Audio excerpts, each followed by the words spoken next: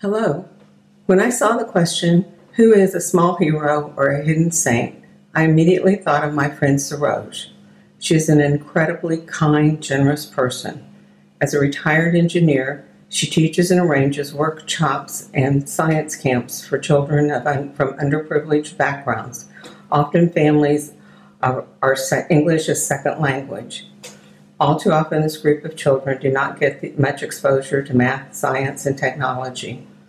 She has been known to spend her own money to facilitate this. She taps into other scientists and experts to provide an experience of excitement of scientific discovery for these children. Saroj wants to inspire children to want to learn more math and science and realize they can do anything. When I asked her permission to share this with you, she said, I do not think I deserve anything like this. In addition to her kindness and generosity, she is humble. Saroj is truly a hidden hero.